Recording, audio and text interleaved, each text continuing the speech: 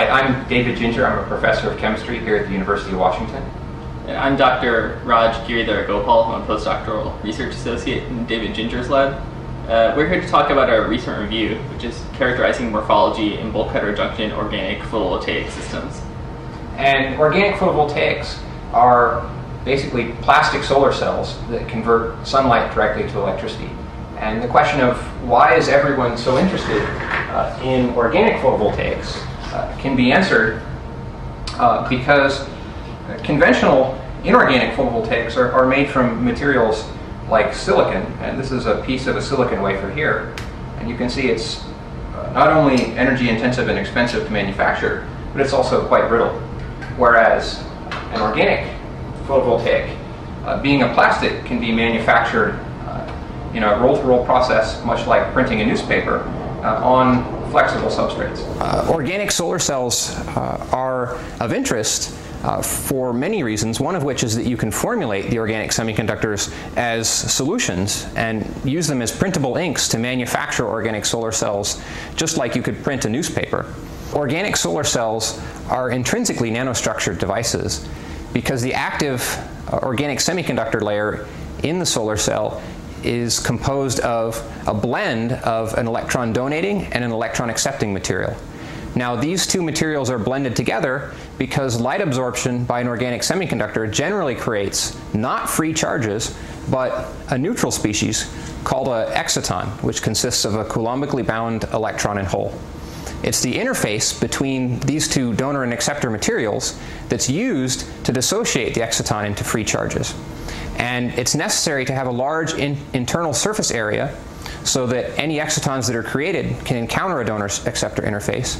Yet there's also a design tension because in addition to having a large internal surface area, you need to have continuous pathways for the electrons and holes that are generated at the interface to find their ways to the respective electron and hole extracting contacts so that you can collect the photocurrent that you've generated.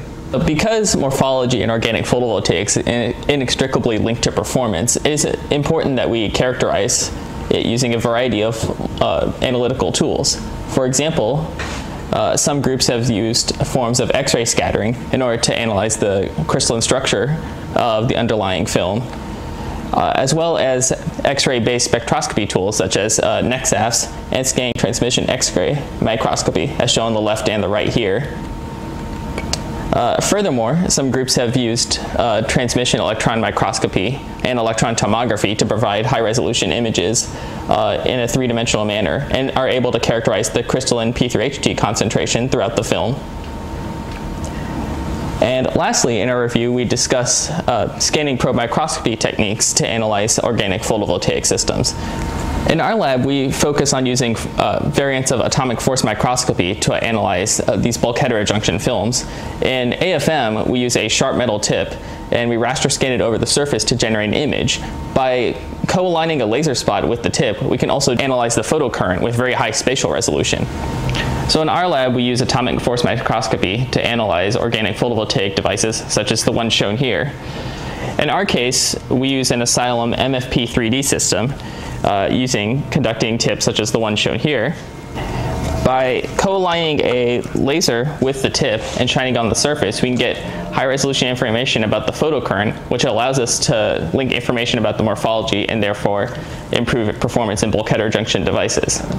The application of a range of structural probes to characterize new bulk heterojunction blends should allow us to link performance with both local structure and electronic properties across different families of materials, and thereby make organic photovoltaic cells become economically viable.